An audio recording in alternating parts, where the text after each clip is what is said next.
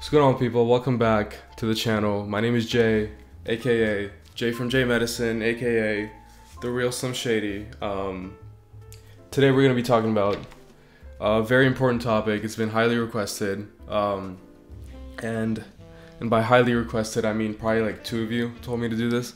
Um, nonetheless, it's pretty important.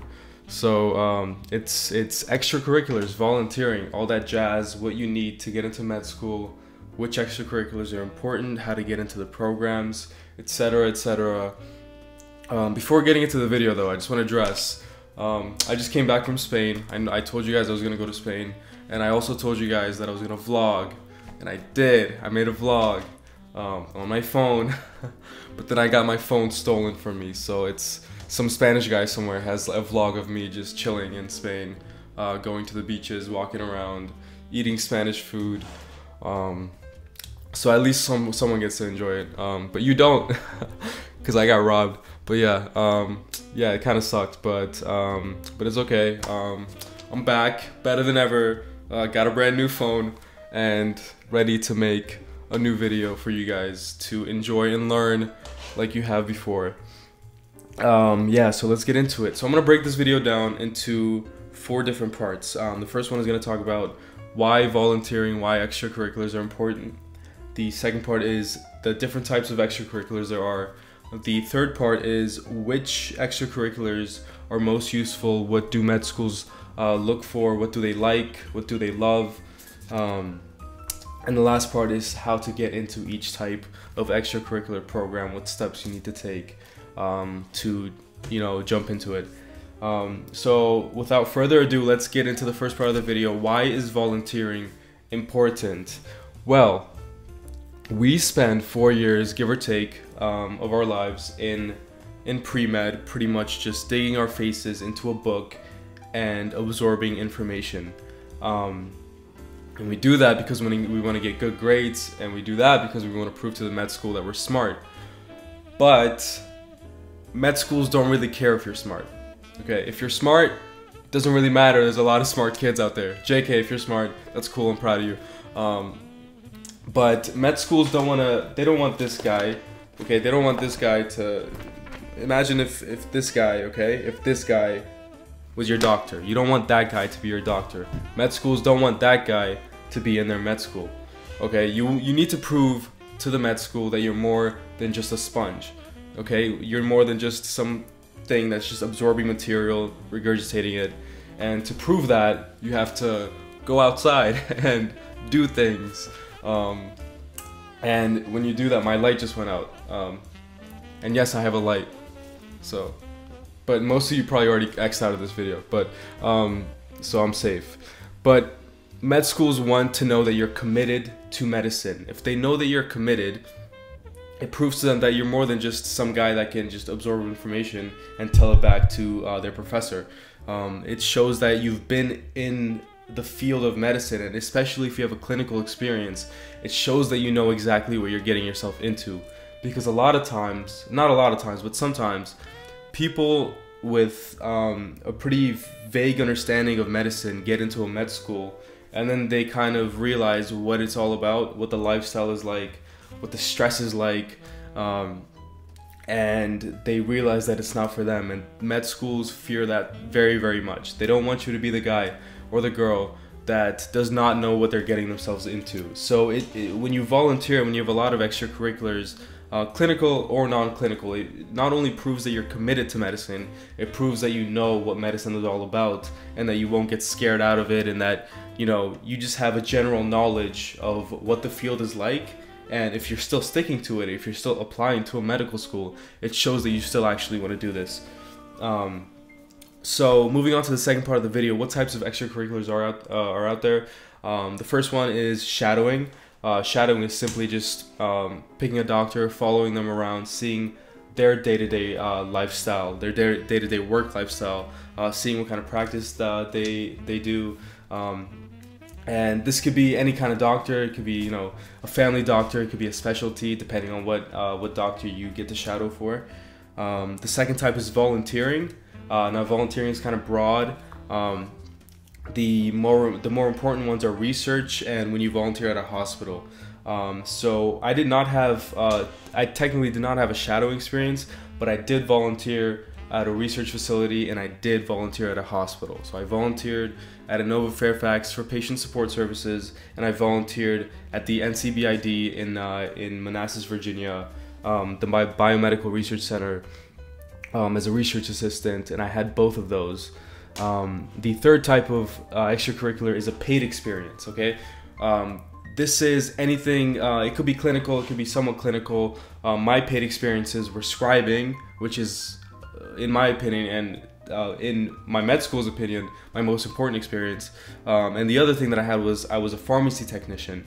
Um, now I know this is a little bit like different, but sometimes it's good to have a different experience. So as a pharmacy tech, I got to learn, you know, medication names, interactions of medications, um, how insurance works, um, what medication uh, is good for one patient, what the generic name is uh, for a brand medication, uh, that kind of stuff. So, you know, any kind of experience where you can prove to the med school that the experience helped you uh, learn medicine and it, and it helped you become more uh, adept with uh, you know, just clinical terms, um, and it made you more ready for med school. If you can prove that to them on your application, it's a good experience.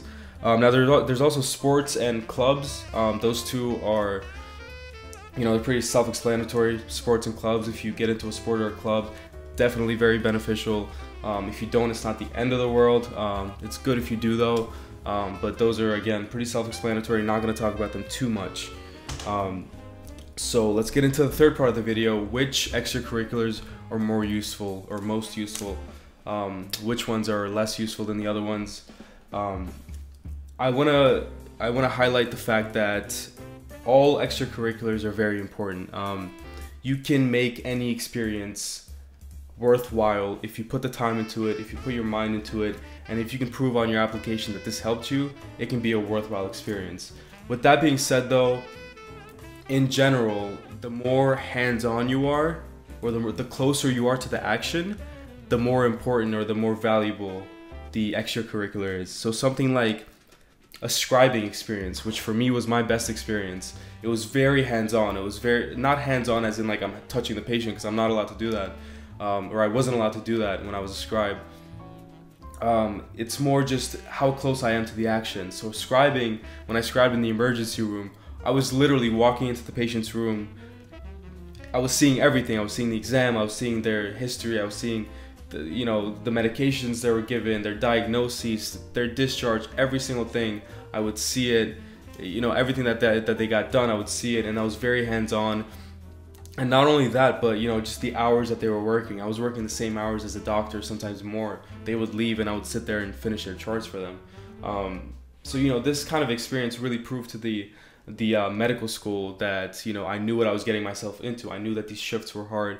I knew that you know there was a lot of stress involved, and I but I knew what the reward was, and I liked the reward enough to the point where I really want to pursue this. So that was very important to them. Um, whereas compared to like other experiences, like say a pharmacy tech, I'm not really you know close to the action. I'm kind of just away from it. This is like outpatient. Um, you know they're just getting their medication, so it's not as important but you know it's still definitely a boost on your application. Uh, what you want to do is kind of have a wide variety of, of uh, extracurriculars. And not only that but you want to put in a good amount of time for each one. The rule of thumb is around six months. You want to you want to do each extracurricular for around six months um, especially if it's like a shadowing experience. You don't want to shadow for like a week or two weeks. That doesn't really show anything. Shadow for a good like six months at least make sure you get to know the doctor. Make sure you get to know the team that you're working with. If you're doing research research enough to the point where you get some data and you're able to like analyze your data and present your data. And if you can if you can get published that's amazing. You know if you can get published that's great. If you're volunteering at a hospital make sure you volunteer for a good amount of time so you know you know what the hospital is like and that you know that you know once once you get used to the hospital do i still want to be there? Once you know i'm six months in and you know I'm walking into my shift and I and it's the same thing over and over again. Does that satisfaction of a patient being cured or you know me talking to the patient or me you know me helping with the team is that enough for me to stick around? That's what med schools want to see. They want to see your commitment. So make sure that your uh, your um, time commitment is is uh, significant enough for the med school to to see that you actually want to do this and that it wasn't just like a one week, two week thing, and that you just wanted to check something off and put it on your application. Um, the fourth part of the video is how to get into each type of extracurricular. So we know which extracurriculars are important. Um, we know what each entails, but sometimes it's pretty hard to get into an extracurricular program. Uh, a lot of people find it very hard taking that first step, going into it. Um, um, and the way you want to do it, uh, it's different for each one. So for shadowing, pretty much what you want to do is call up doctors. Okay, so if, if you know a doctor, if you uh, you know if you're close with a family member that's a doctor or a family member that knows a doctor, call them up. Be like, hey, you know, my name is Susie. We met two years ago at the function, and I need to shadow you now. Blah blah blah. You know, talk to them, be nice to them.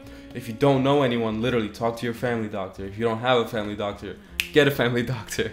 But if you don't know anyone, just literally start start calling people up. Call up a practice. To, um, leave them a message. Listen, my name is blah blah blah. I'm uh, you know looking to get into med school. Um, I'm really interested in the type of practice that you do. I just want to shadow you. Um, you know, maybe help you out uh, if if I can. Blah blah blah. And if you call enough people, I promise you, someone's gonna want to, uh, want to give you that opportunity.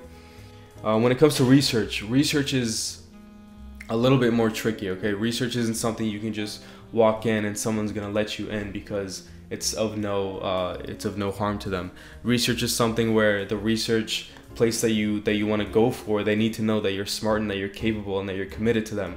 Because at the end of the day, they're they're doing research and they need to know that you are gonna help them do that research. So most of the time, there's some kind of like uh, preliminary stage where they you know you have to send them some kind of application or you have to send them your transcript something like that um, to get into a research, I would recommend talking to an advisor because it's so different uh, for each school. For me, I just went up to my advisor. She told me that our school had a program, a semester program, where I, where I could do research for a semester and get credit for it.